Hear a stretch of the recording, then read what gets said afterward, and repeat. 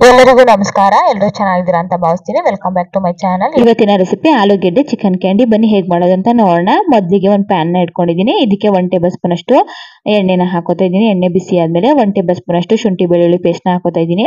ಮತ್ತೆ ಒಂದ್ ಎರಡು ಹಸಿರು ಮೆಣಸಿಕಾಯಿನ ಚೆನ್ನಾಗಿ ಜಜ್ಜಿ ಹಾಕೋತಾ ಇದ್ದೀನಿ. ಹಾಕೊಂಡು ಲೋ ಫ್ಲೇಮ್ ಅಲ್ಲಿ ಇಟ್ಕೊಂಡು ಒಂದ್ ಎರಡು ನಿಮಿಷ ಚೆನ್ನಾಗಿ ಹುರ್ಕೋಬೇಕಾಗುತ್ತೆ.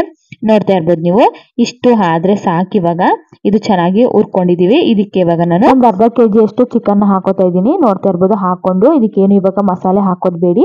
ಹಾಗೇನೆ ಐ ಫ್ಲೇಮ್ ಅಲ್ಲಿ ಇಟ್ಕೊಂಡು ಒಂದು ಎರಡು ನಿಮಿಷ ಚೆನ್ನಾಗಿ ಬೇಯಿಸ್ಕೋಬೇಕಾಗುತ್ತೆ. ನೀವು ಮೊದಲಿಗೆ ಒಂದು ಐದು ನಿಮಿಷ ಐ ಫ್ಲೇಮ್ ಅಲ್ಲಿ ಇಟ್ಕೊಂಡು ಬೇಯಿಸ್ಕೊಳ್ಳಿ. ಆ ನಂತರ ನಾವು ಲೋ ಫ್ಲೇಮ್ ಅಲ್ಲಿ ಇಟ್ಕೊಂಡು ಬೇಯಿಸ್ಕೋಬೇಕಾಗುತ್ತೆ. ಲೋ ಫ್ಲೇಮ್ ಅಲ್ಲಿ ಇಟ್ಟಾಗ ನೋಡಿ ಈ ತರ ನೀರೆಲ್ಲ ಬಿಟ್ಕೊಳ್ಳುತ್ತೆ ಚಿಕನ್ ಈ ಸಮಯದಲ್ಲಿ ರುಚಿಗೆ ತಕ್ಕಷ್ಟು ಉಪ್ಪನ್ನ ಹಾಕೊಂಡು ಚೆನ್ನಾಗಿ ಮಿಕ್ಸ್ ಮಾಡ್ಕೋಬೇಕಾಗುತ್ತೆ. ನೋಡ್ತಾ ಇರ್ಬೋದು ಮಿಕ್ಸ್ ಮಾಡ್ಕೊಂಡು. ಚೆನ್ನಾಗಿ ಡ್ರೈ ಆಗ್ತಾ ಬರ್ತಾ ಇದೆ. ಇದಕ್ಕೆ ಇವಾಗ ಒಂದು ಲೋಟದಷ್ಟು ನೀರನ್ನ ಹಾಕೋತಾ ಇದ್ದೀನಿ. ಆದಷ್ಟು ನೀವು ಬಿಸಿ ನೀರನ್ನ ಹಾಕೊಂಡ್ರೆ ಬೆಸ್ಟ್ ಅಂತಾನೆ ಹೇಳ್ಬೋದು. ಚೆನ್ನಾಗಿ ನೀರು ಕುದೀತಾ ಇದೆ. ನಮಗೆ ಈ ಟೈಮಲ್ಲಿ ನಾವು ಮೀಡಿಯಂ ಫ್ಲೇಮ್ ಅಲ್ಲಿ ಇಟ್ಕೋಬೇಕಾಗುತ್ತೆ. ನಾವು ಹುರಿನ ಮೀಡಿಯಂ ಫ್ಲೇಮ್ ಅಲ್ಲಿ ಇಟ್ಕೊಂಡು ಬೇಯಿಸ್ಕೋಬೇಕಾಗುತ್ತೆ. ನೀರೆಲ್ಲ ಸಂಪೂರ್ಣವಾಗಿ ಈ ರೀತಿಯಾಗಿ ಡ್ರೈ ಆಗಬೇಕು. ಅಲ್ಲಿ ತನಕನೂ ಚೆನ್ನಾಗಿ ಬೇಯಿಸ್ಕೋಬೇಕಾಗುತ್ತೆ. ನೋಡಿ ಕಟ್ ಮಾಡಿದ್ರೆ ಚಿಕನ್ ಕಟ್ ಆಗಬೇಕು. ಅಷ್ಟಾದ್ರೆ ಚಿಕನ್ ಬೆಂದಿದೆ ಅಂತ ಹೇಳಿ ಇದನ್ನ ಇವಾಗ ಒಂದು ಸೈಡ್ಗೆ ಎತ್ತಿಟ್ಕೊಳ್ಳೋಣ. ಇವಾಗ ಒಂದು ಮೂರು ಆಲೂಗೆಡ್ಡೆನ ಬೇಯಿಸಿ ಇಟ್ಕೊಂಡಿದೀನಿ ನೋಡ್ತಾ ಇರ್ಬೋದು ಸಿಪ್ಪೆನ ತೆಗೆದು ಅದನ್ನ ತುರ್ದಿ ಇಟ್ಕೊಳ್ಳಿ ಅಥವಾ ಸ್ಮ್ಯಾಶ್ ಮಾಡಾದ್ರೂ ಇಟ್ಕೋಬಹುದು ಇದಕ್ಕೆ ಇವಾಗ ರುಚಿಗೆ ತಕ್ಕಷ್ಟು ಉಪ್ಪನ್ನ ಹಾಕೋತಾ ಇದ್ದೀನಿ. ಒನ್ ಟೇಬಲ್ ಸ್ಪೂನ್ ಅಷ್ಟು ಚಿಲ್ಲಿ ಫ್ಲೆಕ್ಸ್ನ ಹಾಕೋತಾ ಇದ್ದೀನಿ. ಒನ್ ಟೇಬಲ್ ಸ್ಪೂನ್ ಅಷ್ಟು ಪೆಪ್ಪರ್ ಪೌಡರ್ ಒಂದ್ ಎರಡು ಹಸಿರು ಮೆಣಸಿಕಾಯನ್ನ ಕಟ್ ಮಾಡಿ ಹಾಕೋತಾ ಇದ್ದೀನಿ. ಮಕ್ಕಳು ತಿಂತಾರೆ ಅಂದ್ರೆ ಸ್ಕಿಪ್ ಕೂಡ ಮಾಡ್ಬೋದು ನೀವು. ಒಂದ್ ಈರುಳ್ಳಿನ ಚಿಕ್ಕದಾಗಿ ಕಟ್ ಮಾಡಿ ಹಾಕೋತಾ ಇದ್ದೀನಿ. ಮತ್ತೆ ಸ್ವಲ್ಪ ಚಾಟ್ ಮಸಾಲಾನ ಹಾಕೊಳ್ಳಿ. ಒನ್ ಟೇಬಲ್ ಸ್ಪೂನ್ ಅಷ್ಟು ಕಸೂರಿ ಮೇಥಿನ ಹಾಕೊಂಡು ಮೊದಲೇ ಏನು ಚಿಕನ್ನ ಫ್ರೈ ಮಾಡಿ ಇಟ್ಟಿದ್ವಲ್ಲ, ಅದನ್ನ ಇವಾಗ ಮಿಕ್ಸಿ ಜಾರ್ಗೆ ಹಾಕೊಂಡು ಚೆನ್ನಾಗಿ ರುಬ್ಕೊಂಡು ಅದನ್ನು ಕೂಡ ಸೇರ್ಸ್ಕೊತಾ ಇದ್ದೀನಿ. ನೋಡ್ತಾ ಇರ್ಬೋದು, ಸೇರಿಸ್ಕೊಂಡು ಚೆನ್ನಾಗಿ ಕಲ್ಸ್ಕೊಂಡು ಇದನ್ನ ಒಂದ್ ಹತ್ತು ನಿಮಿಷ ನೆನೆಯೋದಕ್ಕೆ ಬಿಡಿ.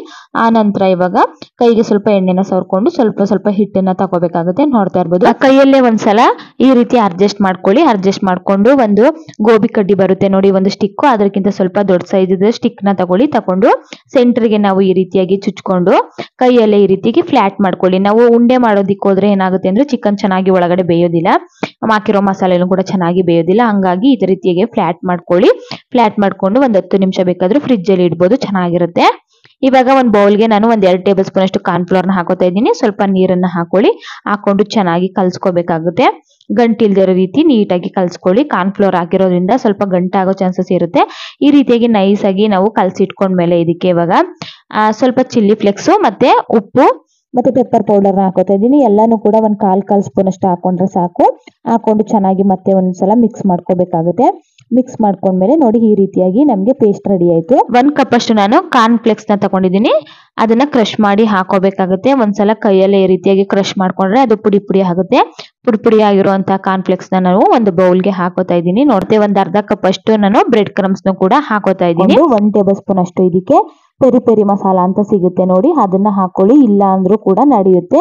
ಸ್ಕಿಪ್ ಕೂಡ ಮಾಡ್ಬೋದು. ಹಾಕೊಂಡು ಇದನ್ನ ಚೆನ್ನಾಗಿ ಮಿಕ್ಸ್ ಮಾಡ್ಕೋಬೇಕಾಗುತ್ತೆ. ಒಂದಕ್ಕೊಂದು ಬೆರಿಬೇಕು.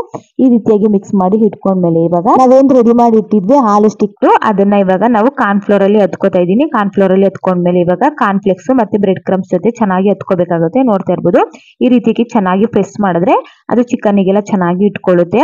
ಇವಾಗ ನೋಡಿ, ಈಗ ರೆಡಿ ಆಗಿದೆ. ಇದನ್ನ ಇವಾಗ ಎಣ್ಣೆಲಿ ಬಿಟ್ಕೋತಾ ಇದೀನಿ ಬಿಟ್ಕೊಂಡು ಮೀಡಿಯಂ ಫ್ಲೇಮ್ ಅಲ್ಲಿ ಇಟ್ಕೊಂಡು ಒಂದ್ ಐದರಿಂದ ಆರು ನಿಮಿಷ ಚೆನ್ನಾಗಿ ಬೇಯಿಸ್ಕೊಂಡ್ರೆ ಸಾಕು.